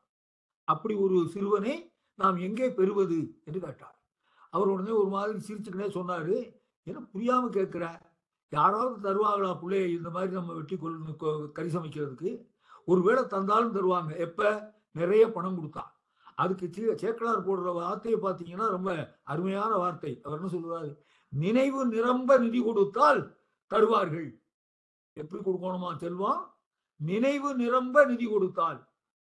ஒரு கை நிறைய பணம் கொடுக்கலாம். ஒரு பாத்திரம் நிறைய பணம் கொடுக்கலாம். ஏன் ஒரு வீடு நிறைய கூட பணம் கொடுக்கலாம். ஆனால் நினைவு நிறைய கொடுப்பது என்பது கஷ்டம். ஏன்னா யாருடைய நினைவும் எதிலையும் முழுமையடையாது முழுமையான திருப்தி யாருக்கும் வராது. பத்து ரூபா கொடுத்தா நூறு ரூபா தந்திருக்க மாட்டானான்னு நினைப்பாங்க. நூறுரூவா கொடுத்தா ஆயிரம் ரூபா கிடைக்காதான்னு நினைப்பாங்க. என்ன கொடுத்தாலும் அவனுடைய மனம் அதற்கும் மேல் எதிர்பார்க்கும். ஆக மனத்தை சமாதானப்படுத்துகிற அளவுக்கு செல்வம் கொடுக்கணுங்கிறார். நினைவு நிரம்ப நிதி கொடுத்தால் ஒருவேளை இந்த சிறுவனை தருவார்கள். ஆனால் அப்படி தந்தாலும் தாய் பிடித்து கொண்டு தந்தை வெட்டுகிற காட்சியை நாம பார்க்க முடியாது. பணம் நம்ம பணத்துக்காக பிள்ளைய தர்றவன் அதை வெட்டுறதுக்கு தர மாட்டான் இன்னைக்கு நம்ம நம்ம சமூகத்தில் உங்களுக்கு தெரியும். குழந்தை இல்லாதவர்கள் சுவீகாரம் எடுத்துக்குவாங்க. அதுக்கு பிள்ளைய விடுறவங்க அதுக்குன்னு ஒரு பணம் வாங்கிக்குவாங்க. அப்ப பணத்துக்கு பிள்ளைய கொடுப்பாங்க. ஆனா என்ன பண்ணணும்? அதை வளர்க்கணும்னு நினைப்பாங்களே தவிர அதை வெட்டணும்னு நினைக்க மாட்டாங்க. அப்படியே வெட்டணும்னா கூட அவங்களே வந்து பிடிச்சிக்கணும் வெட்டியெல்லாம் கொடுக்க மாட்டாங்க. அதனால இவர் சொல்றார் நினைவு நிரம்ப நிதி கொடுத்தால் ஒருவேளை அப்படி ஒரு சிறுவன் தரப்படலாம். ஆனால் அவனுடைய தாயும் தந்தையும் வந்து அவங்க பிடிச்சி வெட்ட மாட்டாங்க. அப்படியெல்லாம் இருந்தா தான் இவர் சாப்பிடுவேன்னு சொல்லியிருக்காரு அப்படின்னு அப்ப அவர் கேட்டா அப்ப? அப்படின்னு இழுத்தான் இவன் ஒன்றும் பிரச்சனையே இல்லை. நமக்குன்னு ஒரு மகன் இருக்கான். அவன் ஒரே மகன். அவனுக்கு இன்னும் அஞ்சு வயசு ஆகலை. நாம ரெண்டு பேரும் அவர் சொல்ற மாதிரி நீ பிடித்து கொள்ளலாம் நான் வெட்டலாம். அவன் அவன் உட்பட நம்ம மூணு பேரும் சந்தோஷமாவே அந்த காரியத்தை செய்யலாம். எனவே இதுக்கு அவன் தான் சரியான ஆடு சீராளன் தான் இதற்கு சரியான இப்ப இந்த இதற்கு சீராளனும் உடன்பட்டு மகிழ்ச்சியோட அது வந்து பாருங்க. அதனாலதான் அவனை சீராள தேவன்னார். அவர் சீராள தேவன் ஏன் சொன்னாருன்னா இந்த மாதிரியான ஒரு செயலை அவன்கிட்ட இவ்வளவுக்கும் சொல்லல. நாங்க வெட்ட போறோம் நீ சந்தோஷமா இருன்னு. ஆனா வெட்டுற பொழுது அவன் சந்தோஷமா இருக்கான். அது என்னங்கிறத அடுத்து சொல்றேன். அப்ப சீராள தேவன் அந்த சீராளன் தான் இதற்கு சரியான கரியாக அமைய முடியும். அதை நாம் செய்வோம் என்றான். அப்படின்னு சொன்னோன்னு ஐயோ நாம் பெற்ற பிள்ளையவா விட்ட போறீங்கன்னு அவ கேட்கல அதுக்குதான் அவள் சொன்னா மனையரத்தின் வேறாக விளங்கி வந்தவளவ அதனால கணவனுடைய விரதம் தான் அவளுக்கு முக்கியம். இன்னொன்னு இன்றைக்கு எந்த சிவனடியாரும் சாப்பிடலன்னு வச்சுக்கோங்க. இவர் சாப்பிடவே மாட்டாரு. சாப்பிட மாட்டாருங்கிறது இன்னைக்கு மட்டும் இல்ல அவ- அவர் உயிரையே கூட விட்டுருவார். எனவே அவருடைய உயிரை காக்க வேண்டும் என்றால் இன்றைக்கு ஒரு சிவனடியார் சாப்பிட்டாகணும். அப்படி சாப்பிடுறவருக்கு ஒருத்தர் தான் வந்திருக்காரு. அவர் வம்பு பிடிச்சவராக இருக்கிறார். அவர் கேட்டிருக்கிற அந்த கறியை கொடுத்தே ஆகணும். அப்போ என் மகன் எனக்கு முக்கியம் இல்லை. என்னுடைய கணவன் தான் எனக்கு முக்கியம்.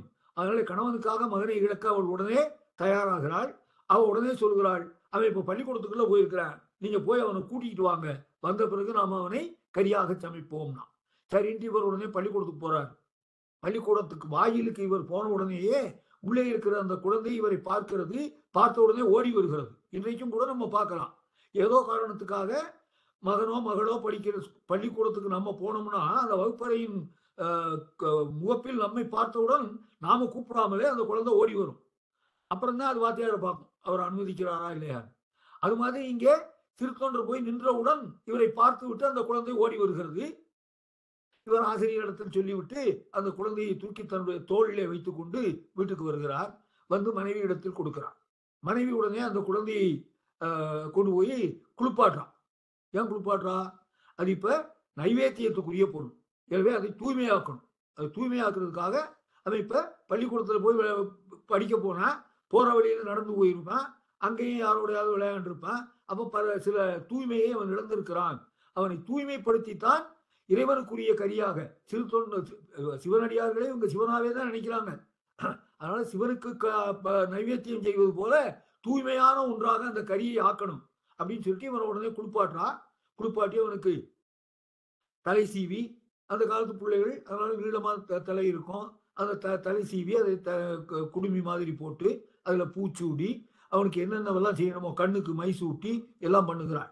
ஆனால் ஒரு தாய் ஒரு குழந்தையை குளிப்பாட்டி அதை அலங்காரம் செய்கிற பொழுது முக்கியமாக செய்கிற ரெண்டு காரியத்தை அவர் செய்யலைன்னு சேக்கலார் எழுதுறாரு.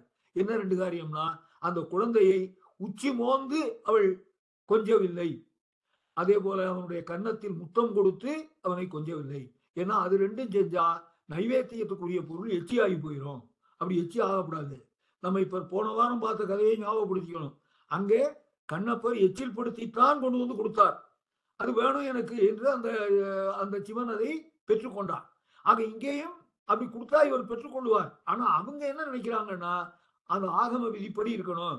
நைவேத்திய பொருள் தூய்மையா இருக்கணும். அதனால வந்தவனை குளிப்பாட்டி அவனுக்கு எல்லா அலங்காரமும் பண்ணி ஆனால் எவ்வளவு அலங்காரம் பண்ணாலும் உடனே தாயினுடைய இயற்கையான உணர்வு ஒரு இன்ஸ்டிங்க்ட்ல நிச்சயமா ஒரு முத்தம் கொடுப்பான். என்ன அழகா இருக்காடா நீ குளிச்ச உடனே? அப்படின்னு.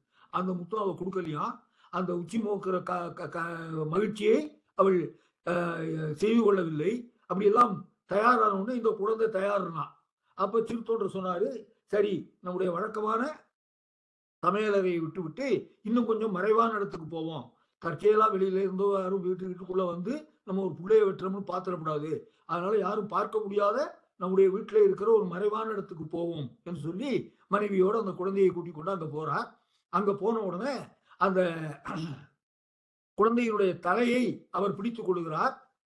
இந்த தாய் எதிரே நின்று அவனுடைய இரண்டு கால்களையும் எடுத்து தன்னுடைய மடியில் தன்னுடைய இரண்டு தொடைகளுக்கு இடையிலே அந்த இரண்டு கால்களையும் இடித்துக் கொடுக்குறான். அவன் வந்து முண்டி கிண்டி அஹ், எந்திரிச்சு ஓட முடியாதபடி ரெண்டு கைகளையும் தன்னுடைய ரெண்டு கைகளினால் பிடித்து கொடுக்குறான்.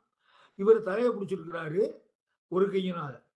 ஏன்னா இன்னொரு கை இப்ப செயல்பட போகிறது. ஒரு கையினால் தலையை பிடித்திருக்கிறான்.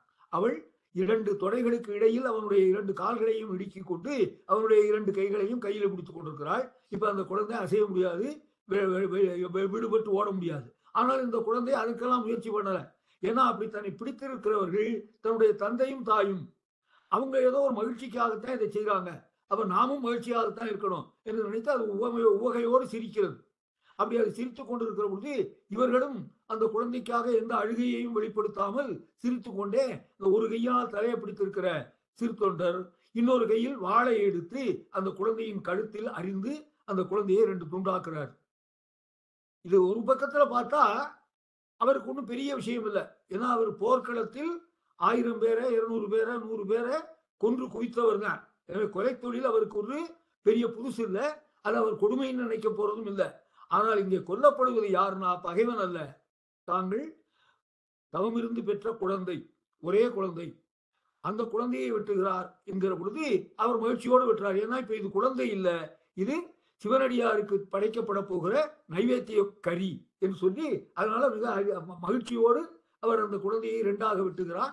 அப்புறம் அதை சிறிது ரெண்டாக வெட்டினா உடனே அந்த அஹ், என்ன பண்ணாலாம் தலைக்கறி யாரும் சாப்பிட மாட்டாங்க. தலைக்கறியை சமைப்பதும் கஷ்டம் சாப்பிட்றதும் கஷ்டம். இன்றைக்கும் நீங்க பாத்தீங்கன்னா சாதாரணமா உங்க உங்களை எத்தனை பேர் நீங்க புலால் சாப்பிடுறவங்கன்னு எனக்கு தெரியாது. நான் புலால் சாப்பிடுவேன். அதனால எனக்கு இதெல்லாம் தெரியும். புலால் வாங்க போகிறவர்கள் பெரும்பாலும் ஆட்டு கறி தான் வாங்குவாங்களே தவிர ஆட்டுடைய தலையை வாங்க மாட்டாங்க. தலை ஆனால் அவன் தலையை அவன் விற்பனைக்கு தனியாக வச்சிருப்பான். அது தலைக்கறின்னு மெனக்கட்டு கேட்கறவங்க தான் அதை வாங்குவாங்களே தவிர மற்றவர்கள் இயல்பாக வாங்க மாட்டாங்க. ஏன்னா அதை சமைக்கிறதும் சிரமம். சமைத்த பிறகு அதனுடைய சுவையும் வித்தியாசமா இருக்கும். சாப்பிட்றவங்களுக்கும் அது அவ்வளவு நல்லா இருக்காது. அதனால தலைக்கறி யாரும் வாங்க மாட்டாங்க. தலை அது ஒதுங்கி இருக்கும். அப்படி இவன் நினைச்சா யாரு? திருவெண்காட்டு. அவளுக்கு எப்படி தெரியுமா? அவள் சாப்பிடுறது இல்லை ஆனால் அந்த ஊர்ல புலால் சாப்பிடுகிறவர்களுடைய வீடுகளுக்கு அவள் போயிருக்கிறாள். அவர்கள் தான் எப்படி சமைப்பார்கள்னு தெரியும். அது கேள்விப்பட்டிருக்கா. அதனால தலைக்கறியை சமைப்பதில்லை என்று அவள் நினைத்து இந்த தலைக்கறியை எடுத்து உடனே சந்தன தாதியை கூப்பிட்டான் இதை சமைக்க முடியாது. இதை கொண்டு போய் இதில் கு- போடு. குப்பையில போட்டு அகற்றி விடு என்று சொல்லிவிட்டு மற்ற பாகத்தை எல்லாம் தனித்தனியா வெட்டி சின்ன சின்னமா வெட்டி குழம்புல போட்டு கொதிக்க வச்சு தயாராக்கி சமையல் செய்ய ரெடி என்று கணவனிடத்தில் சொன்னான். உடனே கணவன் மறுபடியும் போறாரு அந்த கோயிலுக்கு. போய் அந்த சிவனடியாராக வந்திருக்கிற சிவபெருமானை பார்த்து சம- சமையல் தயாராக இருக்கிறது நீங்கள் வாங்க சாப்பிடலாம்னார். அவர் உடனே எழுந்திருச்சு சரின்ட்டு வந்தார். வந்து வீட்டுக்குள்ளே நுழைந்தவுடன் அவரை முதலில் ஒரு இடத்துல உட்கார சொல்லி அவருடைய பாதத்தில் தண்ணீர் ஊ- ஒரு தாம்பாளத்தை வச்சு அந்த தாம்பாளத்தில் அவருடைய பாதத்தை வைத்து பாதத்தில் தண்ணீர் ஊற்றி அந்த தண்ணீரை தாங்கள் வ- உள்ளேயும் குடித்து தலையிலும் தெளித்துக் கொள்கிறார். இதான் சிவபூஜை பாத பூஜைங்கிறது இப்படித்தான் செய்யணும். அப்படி செய்கிறாங்க அந்த பைரவருக்கு ரெண்டு பேரும் கணவனும் மனைவியும். செய்த பிறகு வாங்க சாப்பிடலாம்னாங்க. அவர் வந்தார். இலையில உட்காருங்க. ஒரு மனை போட்டு அவரை உட்கார வைத்து எதிரே ஒரு இலை போட்டார்கள். இலையை போட்டு விட்டு அவர் கேட்டா நான் எப்படி பரிமாறட்டும்? முதலில் சாதம் மட்டும் போட்டு அப்புறம் நீங்க சாப்பிட சாப்பிட கறிகளை வைக்கட்டுமா எப்படி? அப்படிங்கிறதுனால நான் எப்படி பரிமாறட்டும்னா அவர் சொன்னாரு சாதம் போட்டு கறி எல்லாத்தையும் பரிமாறி விடுங்கள் எத்தனை வகையாக செய்திருக்கிறீர்களோ எல்லாத்தையும் ஏன்னா ஏற்கனவே மரக்கறியும் பண்ணியிருக்கிறாங்க இந்த புள்ளைக்கறியும் சமைச்சிருக்கிறாங்க எல்லாத்தையும் ஒக்க படையுங்கள் சொன்னான்.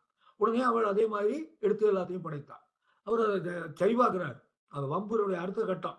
எல்லாம் சரிபார்க்கிறார் ஏன்னா எல்லா உறுப்பும் சமைச்சிட்டீங்களான்னார். கை கால் இப்படி ஒவ்வொரு உறுப்பாக தனித்தனியாக எல்லாத்தையும் சமைச்சிட்டீங்களா அப்படின்னு கேட்டார் ஏன்னா இவருக்கு தெரியும். அவர் தான் சிவபெருமான் தானே. அவருக்கு தெரியாததான் என்ன? இவங்க தலைக்கறியை சமைக்கலைன்னு தெரியும். அதனால அது கேட்குறாரு எல்லா உறுப்பையும் சமைச்சிட்டீங்களான்னு உடனே திருவெண்காட்டு நங்கை சொல்றா தலைக்கறி உதவாது என்று நாங்கள் தலையை மட்டும் சமைக்கலைன்னா அவர் சொன்னார் ஐயோ தப்பு பண்ணிட்டீங்களே நான் அதையும் சாப்பிடுவேனேன்னார் நாம் அதையும் உண்போம் என்று அந்த பைரவர் சொன்னார். இப்பொழுது இவங்க ரெண்டு பேருக்கும் மறுபடியும் பிரச்சனையாகி போச்சு. என்னடா இந்த ஆள் நம்மளை வீட்டில் விருந்து சாப்பிடவே மாட்டார் போல இருக்க. ஒவ்வொரு கண்டிஷனாக போட்டு இப்போ மறுபடியும் ஒரு நிபந்தனையை போடுகிறார். இன்னி மறுபடியும் தலையை நம்ம குப்பையில் போட சொன்னதை தேடி எடுத்து சமைக்க முடியுமா? முடியாதே என்ன பண்ணுறதுன்னு ஆனால் அங்கேருந்து சிந்தனத்தாதி வந் சந்தனத்தாதி வந்தாள். வருகிற பொழுது ஒரு பாத்திரத்தை கொண்டு வந்தாள். கொண்டு வந்து அவள் அஹ், திருவெண்காட்டு இடம் சொல்கிறாள். அம்மா இந்த பைரவர் வந்ததுலேருந்தே ஏதோ வம்பு பண்ணுறாருன்னு நான் தெரிஞ்சுக்கிட்டேன். அதனால் நிச்சயமாக சாப்பிட போகிறபோது இவர் தலைக்கறி கேட்பாருன்னு எனக்கு தெரியும். அதனால் நான் இதை தனியாக ஒரு சமையல் செய்திருக்கிறேன். இதோ இருக்கிறதுன்னு அதை கொடுத்தான் ரெண்டு பேரும் ரொம்ப சந்தோஷத்தோடு அவளை மகிழ்ச்சியாக மகிழ்ச்சி ததும்ப நன்றி ததும்ப அவளை பார்த்து விட்டு இவருக்கு அதையும் படைத்தான். இப்போவாது இவர் சாப்பிட ஆரம்பிக்கலாம்ல? இவர் அடுத்த நிபந்தனையை போட்டார். அந்த க- க- பார்த்து ஐயா நான் தனியா சாப்பிடுறது இல்லை எப்பவும் ஏன் என் கூட யாராவது ரெண்டு ஒரு சிவனடியார்கள் சாப்பிடுவோம். அப்பதான் நான் சாப்பிடுவேன்னார் போச்சு பெரிய வேணை இவர் என்ன? இன்னைக்கு க- பிரச்சனையே இன்னைக்கு சிவனடியார் கிடைக்கலைங்கிறது தானே. கிடைக்காம தேடி தேடி விட்டு தானே இங்க வந்து இவரை பிடிச்சிக்கிட்டு வந்திருக்கிறாரு. இவர் சொன்ன நிபந்தனைக்கெல்லாம் உட்பட்டு இருக்கிறார் இவர் இப்போ மறுபடியும் என்ன சொல்கிறாரு இவர் சிவனடியார் வேணுங்கிறார் உடனே அவர் சொன்னார் சாமி நான் இவ இவ்வளவு நாள் இன்னைக்கு இவ்வளவு நேரம் நான் சாப்பிடாம இருந்தது காரணமே சிவனடியார் யாரும் கிடைக்கலைங்கிறது தான் நான் ஊரெல்லாம் தேடி பார்த்துட்டேன். யாரும் இல்லை. வேணா ஒன்று செய்யலாம். நானும் திருநீர் பூசுறவன் தான். சிவனடியாருக்கு அடையாளம் திருநீர் பூசிக்கொள்வது நானும் திருநீர் பூசுறவன் தான். அப்படின்னு இழுத்தாரு திருத்தொண்டர். உடனே அவர் சொன்னாரு பைரவர் ஆகா உங்களை மாதிரி திருநீர் பூசுறவர் இந்த உலகத்துல யார் உண்டு? உங்களுடைய பெருமையை உங்களுக்கு தெரியல. நீங்க மிகப்பெரிய சிவத்தொண்டர் மிகப்பெரிய சிவனடியார். அதனால நீங்க என் பக்கத்துல உட்காருங்கன்னார். எவ்வளவு பெரிய கொடுமை பாருங்க. அவர் மகனை சமைக்க சொல்லி அதை அவரே சாப்பிட சொல்றார். நீ என் பக்கத்துல உட்காரு. அவர் அதுக்கும் சரின்னு உட்கார்றார்.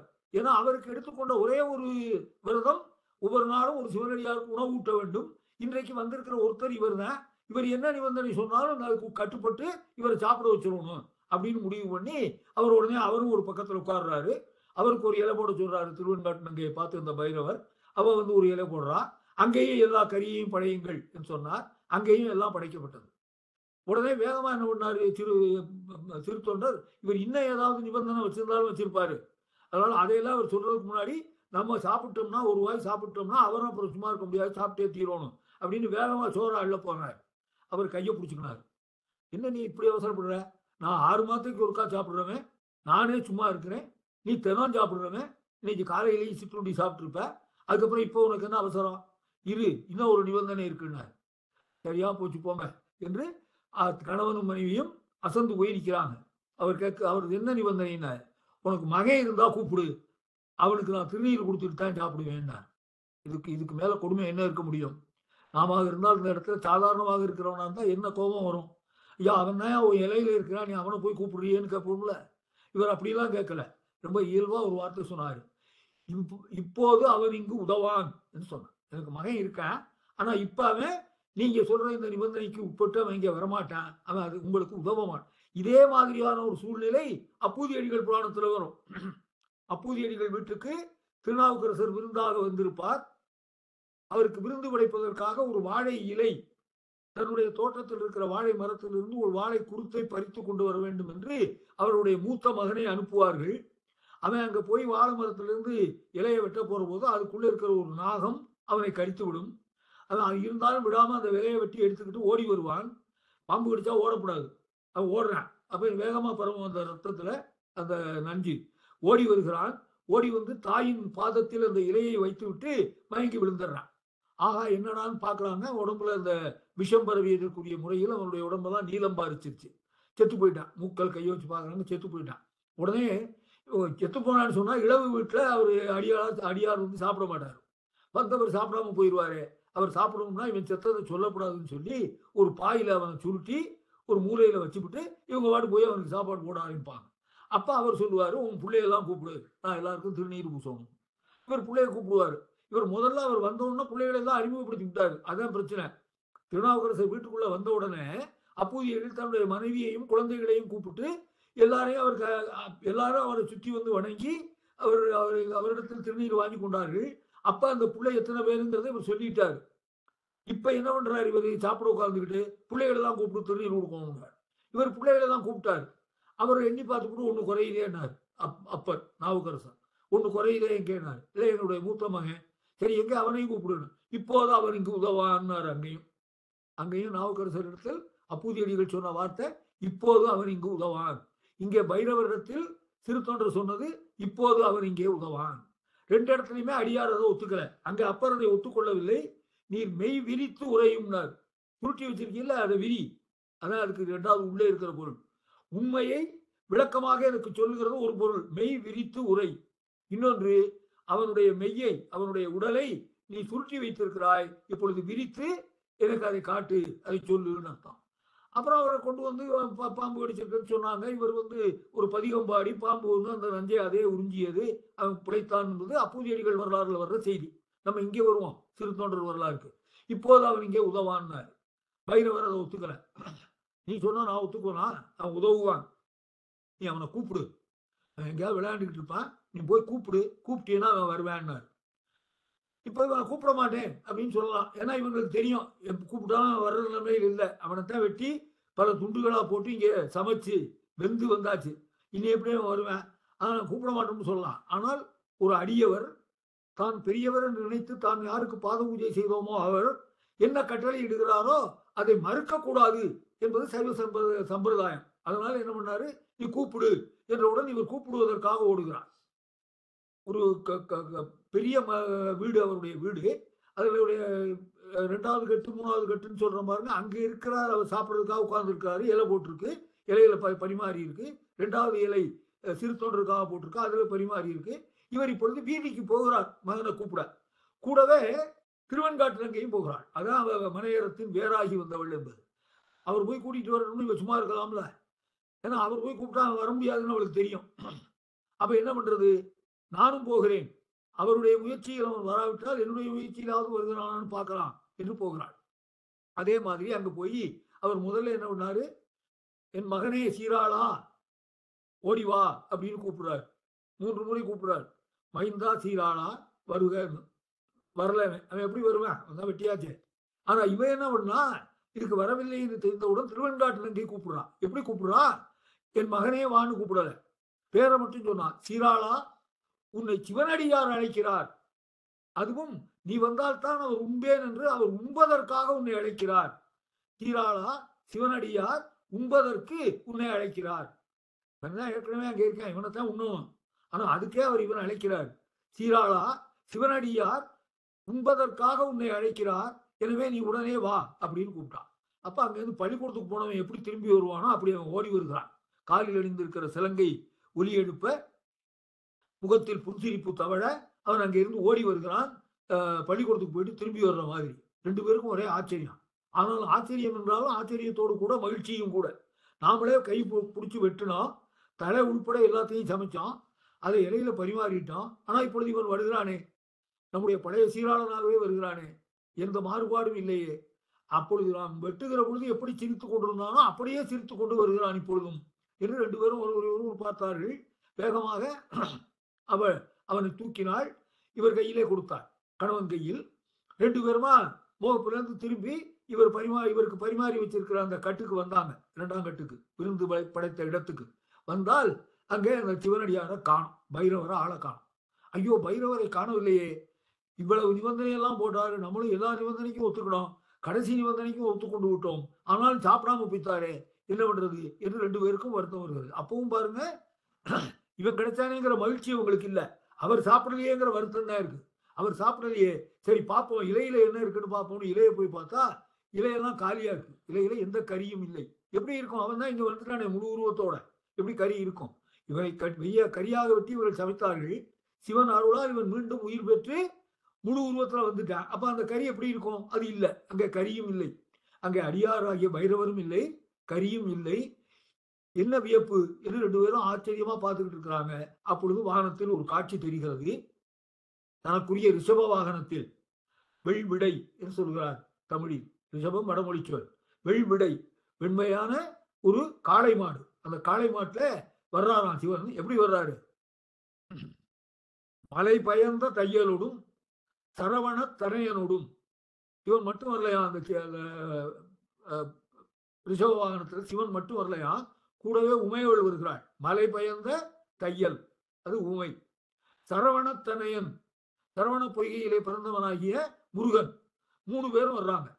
அறுபத்தி மூணு நாயன்மார்கள்ல சில நாயன்மார்களை நேரடியாக சிவன் வராமல் ஒளி வடிவத்திலேயே ஆட்கொண்டான்.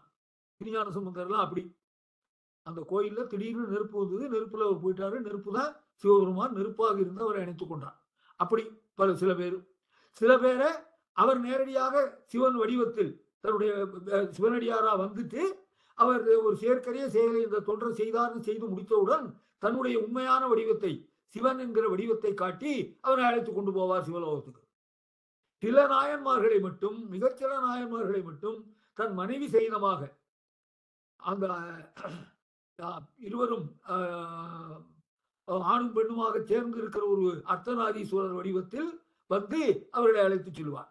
இதுதான் நடந்திருக்கு இது வரைக்கும். அறுபத்தி மூணு பேருக்கு. அறுபத்தி ரெண்டு பேருக்கு தான் ஒரே ஒரு ஆள். நம்ம ஆள் சிறுத்தொண்டருக்கு மட்டும் முருகனையும் கூட்டிகிட்டு வர்றார். ஏன்? ஏனென்றால் இங்கே இவருடைய சிவத்தொண்டில் அந்த தேர்க்கரிய செயலில் ஒரு ஐந்து வயது குழந்தையும் சேர்ந்து இருக்கிறது சீராளனும் சேர்ந்து இருக்கிறான் அவன் மகிழ்ச்சியாக இல்லாமல் அவன் வெட்டப்படுகிற நேரத்தில் அழுதிருப்பானேயானால் அந்த கடவுள் வம்பாக ஏற்படுத்திய சவாலில் நிபந்தனைகளில் திருத்தொண்டர் தோற்று போயிருப்பார். திருத்தொண்டர் வெல்லுவதற்கு சீராளனின் உதவியும் இருந்தது. எனவே இந்த அவனுக்கு அருள்பாலிப்பதிலும் நம்முடைய முருகனும் வந்து அருள்பாலிக்க வேண்டும் என்று சிவன் நினைத்தார். அதனால சிவனும் பார்வதியும் திருமுருகனும் வருகிறார்கள் அந்த வெள்விடையில். சோமாஸ்கந்தர் வடிவம்னு நம்ம இன்னைக்கு சிலையில வைத்து வணங்குகிறோம் இல்லையா? அதுல சிவனும் பார்வதியும் இருப்பாங்க. ரெண்டு பேருக்கும் நடுவுல முருகன் இருப்பான். அதான் சோமாஸ்கந்த வரி ஸ்கந்தன் என்றால் முருகன். சோமா என்பது இறைவனை குறிக்கும். அது அவன் குறிச்ச உடனே அவனுடைய மனைவியையும் குறிக்கும். ரெண்டு பேருக்கு இடையில கந்தன் இருப்பதும் சோமாஸ்கந்த வடிவம். அப்படி சோமாஸ்கந்த வடிவத்தில் அவர்கள் அந்த மாட்டு ரிஷப வாகனத்தில் வருகிறார்கள். காளை மாட்டில் ஏறி வருகிறார்கள். வந்து நின்றவுடனே இவர்கள் தன்னை மறந்து சிவபெருமானே வந்துட்டாருன்னு ரொம்ப மகிழ்ச்சியோடு தலைக்கு மேலே கையை தூக்கி வணங்குகிறார்கள். அந்த சந்தனத்தாதி இவர்கள் கணவனும் மனைவியுமாக இவனுக்கு விருந்து உபச்சாரம் பண்ணி கொண்டிருக்கிற பொழுது தலைக்கரியை கொண்டு வந்து கொடுத்துட்டு திருப்ப ஒதுங்கி அடிப்படையில் போய் நிற்கிறார் ஆனால் இப்பொழுது சிவன் வந்திருக்கிறார் என்றவுடன் அவளும் ஓடி வருகிறாள். வந்து எல்லாருமா வணங்குறாங்க. வணங்கின உடனே சிவபெருமான் என்ன சொல்றாரு? நீங்க சிவலோகத்துக்கு வந்திருக்க அப்படின்னு கூப்பிடுற போது தொண்டரை மட்டும் கூப்பிடல. நான் சொன்ன மாதிரி மற்ற நாயன்மார்களை எல்லாம் வந்து இது போல அவருடைய செயற்கரிய செயலை உலகத்துக்கு வெளிப்படுத்திய பிறகு அவர்களை மட்டும் அழைத்து கொண்டு போவார்கள். அல்லது அவருடைய மனைவியையும் அவரையும் அழைத்து கொண்டு போவார்கள். ஆனால் இங்கே என்ன சொல்லுகிறார் சிவபெருமான்? குறிப்பிட்டு சொல்லுகிறார். திருத்தொண்டர் அவர் மனைவி சீராளன் சந்தனத்தாதி நாலு பேரும் வாங்க சிவலோகத்துக்கு இருக்கிறார். ஏனென்றால் இது குடும்பம் முழுவதும் சேர்ந்து செய்த தொண்டு. எப்படி ஒரு சிவனடியாராக அவர் தொண்டு செய்கிற பொழுது அவர் மகன் சேர்ந்தான்னா அது கூட பரவாயில்ல. அது அந்த குலமுறை படிப்பு அடிப்படையில் வரும். இன்றைக்கு நம்ம விஞ்ஞான முறைப்படி சொன்னால் ஜீன். இவருடைய ஜீன்ல என்ன இருக்கிறோ அந்த சிவபக்தி இவர் மகன் உடம்புலையும் இருக்கும். அதனால அவன் செஞ்சான். சரி அது ஒன்றும் பெரிய அதிசயம் இல்லை. ஆனால் இவனிடத்தில் ஊதியம் பெற்று இவனுடைய வேலையை மட்டும் பார்த்து கொண்டிருந்த ஒரு வேலைக்காரிக்கு சிவபக்தி இருந்தது. சிவனடியார் அந்த நேரத்தில் தலைக்கரியை கேட்பார் என்று உணர்ந்து அதை சமைத்து வைத்திருக்கவும் கொண்டு வந்து கொடுக்கவும் ஆகிய அந்த சிவபக்தி இவர்களிடத்தில் இருந்ததுன்னா இந்த குடும்பத்துல அவர் சில ஆண்டுகளாக வேலை பார்த்ததுனால இந்த குடும்பத்தினுடைய பக்தி அவளுக்கும் உரைப்பை ஏற்படுத்தி விட்டது எனவே அப்படி இருக்கிற அவளையும் இங்கே விட்டுவிட்டு போகக்கூடாது. நம்முடைய அருள் இவர்கள் நாலு பேருக்கும் போக வேண்டும் என்று சிவபெருமான் நினைத்தார். நாலு பேரையும் தன்னோடு சிவலோகத்துக்கு வருமாறு அழைத்து கொண்டு அந்த ரிஷப வாகனத்திலேயே அவர்களையும் கூட தங்களோடு அழைத்து கொண்டு சிவலோகத்துக்கு சென்றார் என்று இந்த கதை நிறைவு பெறுகிறார் அதனால இங்கே முக்கியமான செய்தி என்னன்னா தான் எடுத்துக்கொண்ட ஒரே லட்சியத்தை நிறைவேற்றுவதற்கு என்ன தடங்கள் வந்தாலும் அதை மீறி அதை வென்று தான் செய்ததை நிறைவேற்றி காட்ட வேண்டும் என்பதுதான் உண்மையான பக்தி வைராக்கியம். அந்த பக்தி வைராக்கியம் நம்முடைய சிறு சிறு தொண்டருக்கு நிறையவே இருந்தது. எனவே அவரை வம்பு செய்வதற்காகவே வந்த பைரவராகிய சிவபெருமானிடத்தில் அவர் போட்ட சவாலை எல்லாம் சந்தித்து வெற்றி கொடியை கடைசியில் ஆட்டியவர் சிறு தொண்டர் என்பதுதான் இந்த கதையினுடைய சிறப்பு. அதைத்தான் நமக்கு உணர்த்துவதற்கு சேக்கிடார் இவருடைய புராணத்தை பாடுகிறார். இவரை திருத்தொண்ட தொகையில் வைத்து சுந்தரர் பாடியதும் அதனால் தான். இந்த மாதிரி செய்த எடுத்த காரியத்தை நிறைவேற்றுகிற உறுதி வைராக்கியம் அவருக்கு இருந்தது என்பதனால் தான் அவர் அந்த கூட்டத்தில் சேர்க்கப்பட்டார். அவர் சேர்க்கப்பட்டதனால அவருடைய வரலாறு இங்கே ஒரு எண்பது பாடல்களில் சொல்லப்படுகிறது. அப்படி சொல்லுகிற அந்த சேக்கடார் அந்த நுட்பங்களை எல்லாம் தன்னுடைய கவித்திறனால் சரியான வார்த்தைகளை சரியான இடத்தில் பயன்படுத்தி இரண்டு பொருள் வருகிற மாதிரி எல்லாம் பயன்படுத்தி அவருடைய சிறப்பை நமக்கு வெளிப்படுத்தி இருக்கிறார். அதை நான் என்னால் முடிந்த அளவுக்கு எளிமைப்படுத்தி உங்களுக்கு சொல்லி இருக்கிறேன் இதை கேட்டு எனக்கு இந்த வாய்ப்பை கொடுத்த ஏகப்பண்ணன் உட்பட எல்லோருக்கும் என்னுடைய நன்றியை தெரிவித்து விடைபெறுகிறேன். நன்றி வணக்கம்.